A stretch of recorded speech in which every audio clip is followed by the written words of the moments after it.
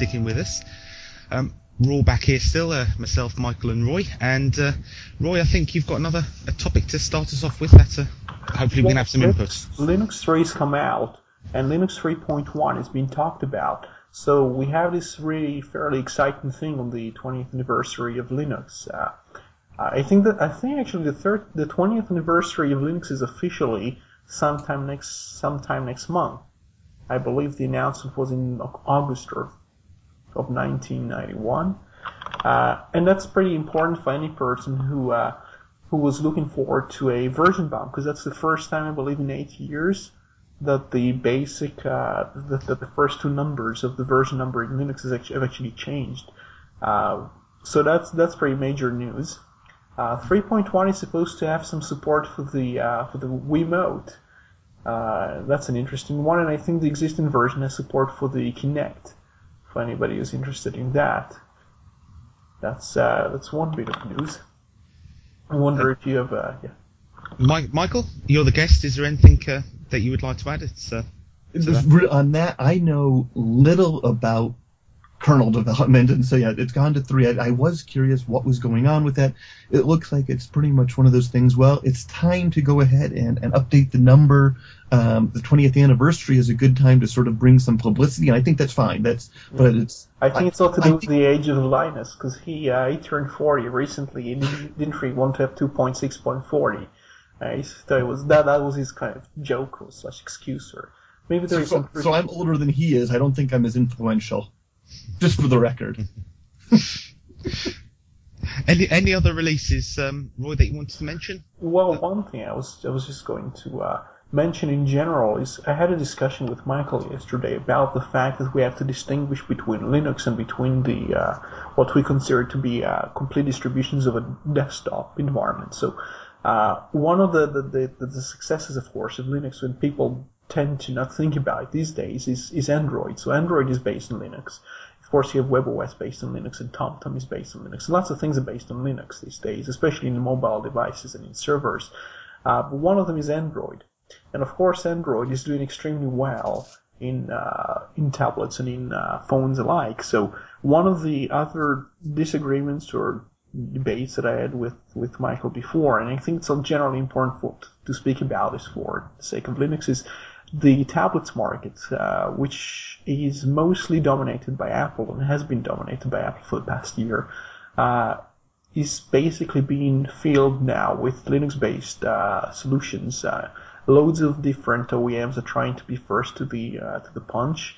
Uh, there is Motorola and Acer and Dell and so on. Uh, trying to put their tablets inside this this market, a very fast growing market, which grows even at the expense of the desktop to an extent. Um, and, and of course, this contains the Linux kernel. So uh, one of the statistics I saw, mm, three, four, three sources so far, is that the market share of Linux in tablets is 30%. Uh, and I believe that Michael was con- contesting this uh, this statistic. Can I just clear something up for the for the listeners? It may well be that uh, many people haven't um, haven't come across Michael's site yet, and uh, the purpose of this discussion today, um, we're certainly not suggesting that Michael has any affiliation with Apple other than the fact that he uses the products and obviously has a few good words to say about Apple and, and many other uh, different systems. So this isn't a challenge of uh, Linux v Apple, and Mike, Michael is representative of Apple. Um, this is Michael's views, and uh, obviously I just thought I'd say that, Michael, before we go over to you and get your take on. So to be honest, I don't really remember the the market share numbers I have seen, but I don't think market share is really a good way of looking at success here. I th- how do you how do you measure market share? Well, you have to define what market share. I, mean, I agree with you. You have to define what market share is. Is it money? Is it number of distributions? Is it the uh, number of actual users? Because sometimes several users are using the same computer. Uh, so we have to define what market share is for me, the way you rate how good is an operating system or how good is a, is a system of any sort is well, there's there's two ways. One, how well is it doing for the business? If you're talking about a business making money, because if they're not making money on it, it's going to wither and die. Yeah, but the yeah. more important one is how much is it serving users well, yeah. and yeah. So if you look at satisfaction ratings, which correlates I, with sales, Android does well too. It's it's not caught up with iOS but it's Well, catching up. satisfaction correlates with sales usually. Uh, it- well, there's other. I mean, Mac, Mac has much higher satisfaction ratings than Windows on average. But you know, if you go to buy a Mac, I just had had a friend go to buy a Mac, and they're like, "Oh my goodness! By the time I get everything I want, you're looking at fifteen hundred dollars and up." So, so satisfaction isn't going. Uh, you could get a PC for a third of that and be happy with it. So, so there's other things that are going to go on, and, and there's marketing, and there's inertia, there's there's all sorts of stuff that goes in with it. But how satisfied are the users? And frankly, Android, I haven't used it much, but I think it is wonderful. Apple pretty much came in and redefined the smartphone market, and later on redefined the tablet market, and now there's people competing with them. Well, good Wow. for Yeah. good for everybody. Can you uh, tell me what exactly they innovated with the iPhone specifically? So here, here's an example. Here's an example of that.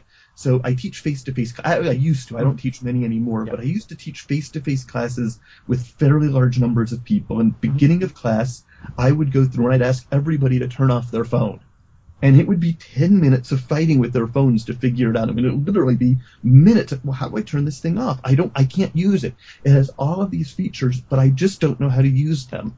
And then the iPhone came out, and people with iPhones said, "Oh, it's done." And people in the class would be looking, well, how the heck did you do that? Apple didn't bring in that many new features. Yeah, they may have they consolidated voicemail it may have been done before. I don't know.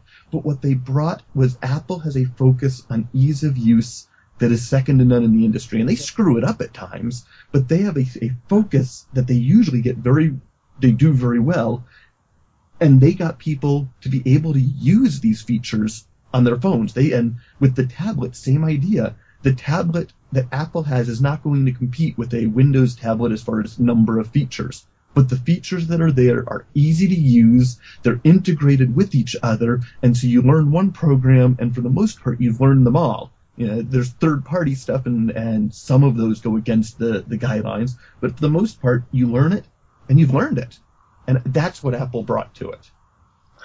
Mm, It's very hard to quantify these things. Uh, I mean, I, I personally, I'll just say very quickly, I'm still using a Palm uh, PDA, uh, and all those things you mentioned are very, very easy to do on that too. And the layout of the menus and everything is very similar to the iPhone, only the, the Palm thing goes like over almost 10 years before uh, the iPhone even existed. So I, I, I just always wonder to what extent we uh, we have this uh, influence of I don't know hype or something. I mean, I, I could just say in my classes, um, things have changed tremendously since the iPhone came out. And I'd say people with Android devices, I barely touched an, an Android phone. It's yeah, I have five minutes of experience with it. I am far, far from knowledgeable on those. And actually, even the iPhone, I have an iPod. I don't even have an iPhone. But people now in classes, I say turn off your phone, and I wait 30 seconds to a minute and all the phones are turned off. It used to be minutes would go by and people helping each all other. of, especially at a children all of them use an iPhone. Well, the people using an iPhone and Android devices turn it off quickly, and even other phones seem to have, have picked up on this need over the last few years of let's not just cram features down on people, let's let's make them easy to use. And and Apple is what pushed yeah. When Apple came into the scene on, on phones, all sorts of people said it's a it's a mature market. They're not going to get into it. Other people have tried, and they had a product that just pleased people tremendously, and and pulled them into it. And Android's doing that now. I said I think Android, from the the tiny bit I know, still is struggling to to please people as much, and part of that is because Apple has their IP stuff, and they say you can't do Carry it. on buying And Apple is right, and some they're not. Yeah. Yeah. Usually, I, I, I firmly believe, with, with, certain exceptions, I, I believe people buy what they find to be good.